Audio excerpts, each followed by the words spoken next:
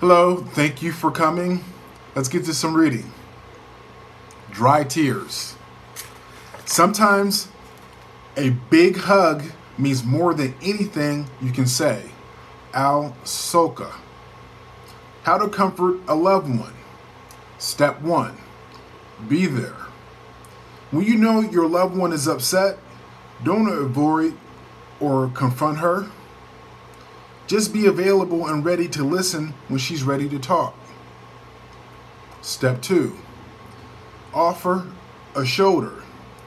Even if you don't think there's anything you can do to make your loved one feel better, asking if you can help can make all the difference.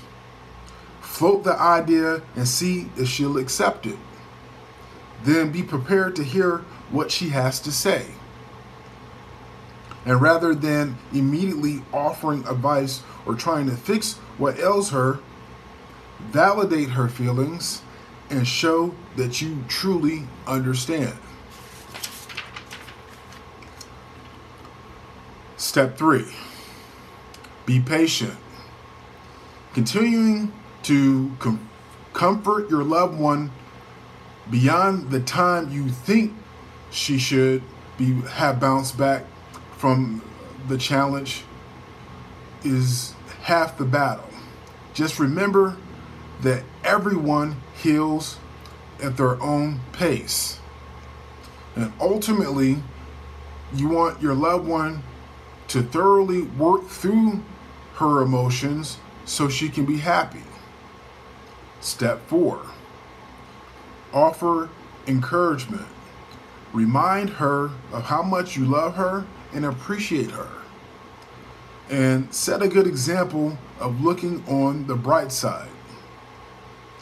Your joy and strength can elevate those around you. More handy tips.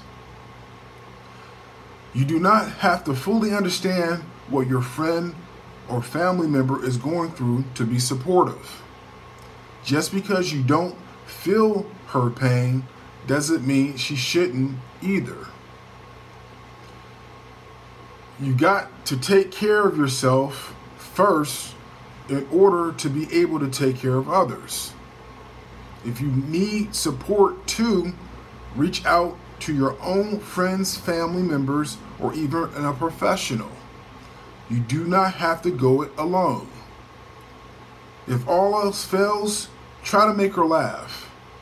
Or turn to page 253 to learn on how to tell a clean joke. Just be there.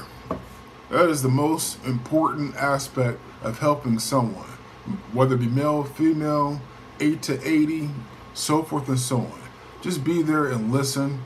And when they need you to interject, you will you will know by body language or other other clues.